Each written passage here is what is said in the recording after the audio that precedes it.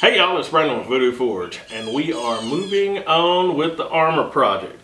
Now, before I say anything else, I want to say this is for entertainment purposes only. This is not informative, this is not educational.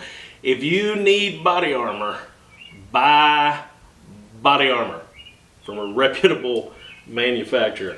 Uh, just, you know, don't, if you get shot wearing this, I don't want to hear about it. I'm telling you, that's a terrible plan. So, but anyway, what I'm doing in this one is I'm, I'm getting our material ready. You know, we've tested the material. We know how we're going to treat the material. We know it's a viable material. So now I've got to get enough of it sized to where I can start fitting this stuff together. So first step, I've got to cut more out of the tank. So let's, let's jump on that.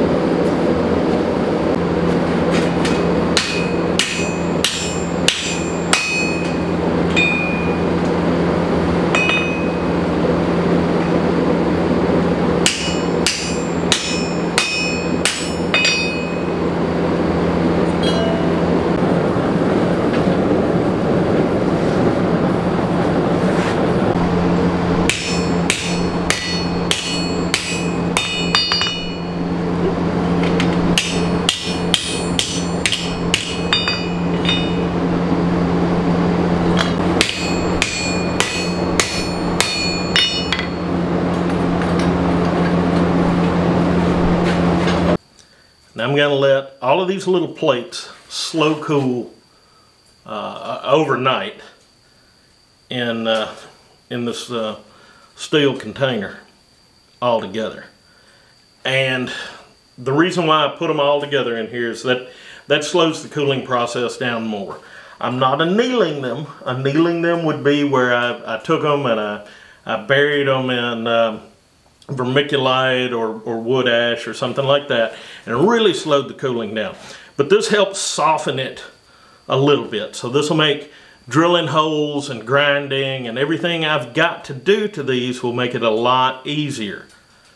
And then when everything is all ready to be put together, everything's been dry fitted and all ready to be put together, then I will heat treat these by heating them back to non-magnetic and quenching them in oil, just like we did our test piece. Only they'll be a lot different then. The plates are flat and normalized, and this is the general configuration they are going to be in when I put all this together. Now there's still a lot of grinding, gonna take some corners off the top and get everything uniform size. So there's a lot of grind in there. First, the first thing I've got to do is get all of these uniformly sized. And I'm going to do that by kind of lumping them together and for lack of a better term, gang grinding. If that sounds terrible, I need to come up with another way to express that. Uh, grinding them all at the same time. So, um, that's that's uh, the step I'm going to right now. I'm faced with a choice here, either not show you this, just fix it and keep my dignity a little more intact, or go ahead and show you. I got in a hurry when I was flattening these out.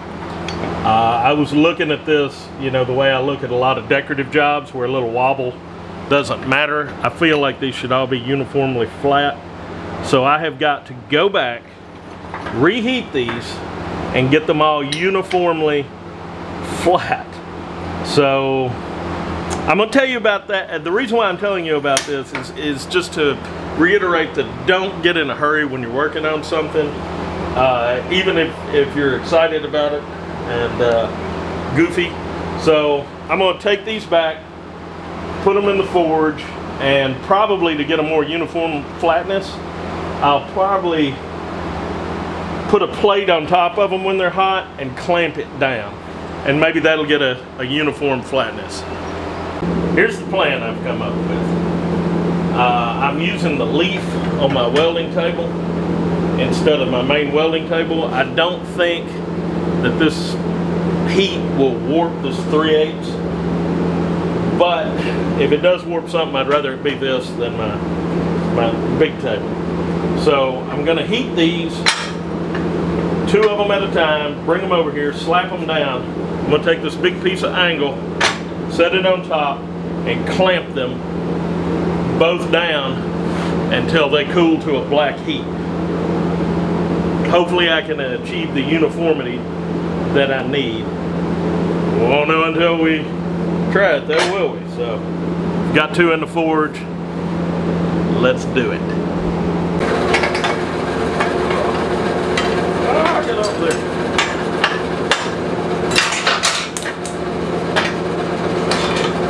All right, cross your fingers.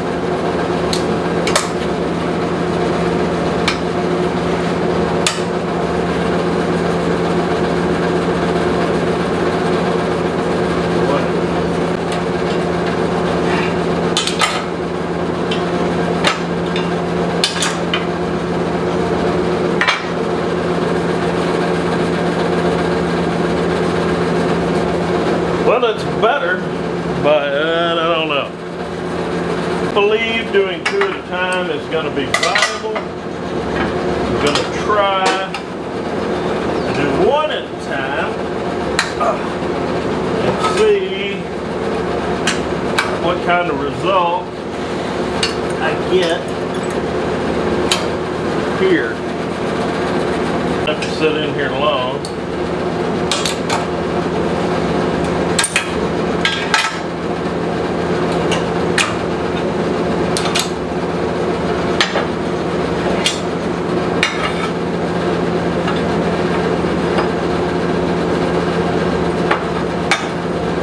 Yeah, that's much better.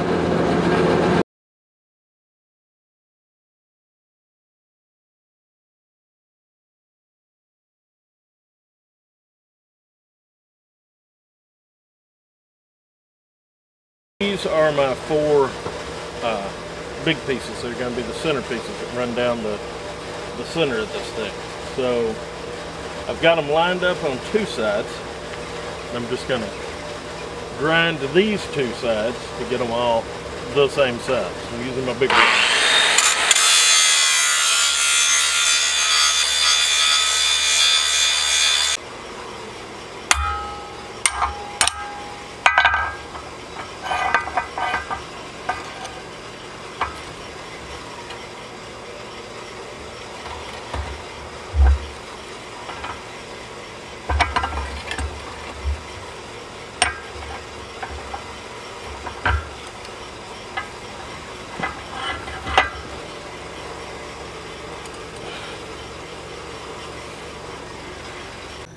These are the smaller scales, same basic process, grind down this side and that one.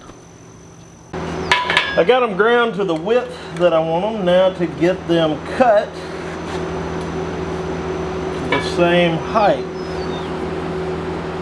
And the way we're doing this is get them all square on their one of their sides where they're all straight and then we will transfer them to the bandsaw.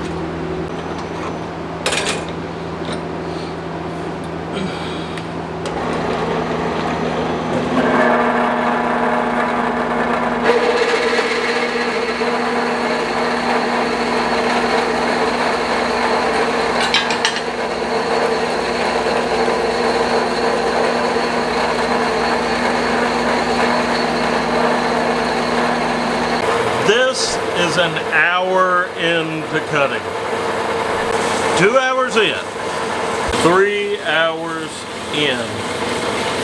Well, I was going to keep up with how long it took to cut that on my little 4 x 6 bandsaw, but it, it uh, it took longer than four hours. And um, I was working in the shop, but you know, I ran out of juice about 11 o'clock at night. And uh, I did something I never do. I left my saw running with me not in the shop, and it cut through it at some point in the wee hours of the morning, I would assume. So they're they're sized now, and this is they're back in the layout that we're we're to be putting them in. Well, that's where we're at there. So we finally got the the, the material ready to start uh, putting it together. Uh, that did not go as I planned. I'm sure I'm making this up as I go along. So I'm trying to show you as best I can the way this is going. One thing I have noticed when editing these videos is I have got to stop uh, announcing ideas I have in my head before I, I know they're going to work because a lot of the grinding and stuff that I talked about just isn't going to be necessary.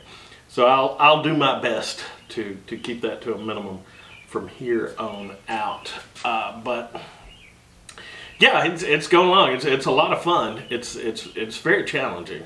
So anyway, it is what it is. But anyway, I hope y'all enjoyed it. Hope you got something out of the video and y'all behave yourselves.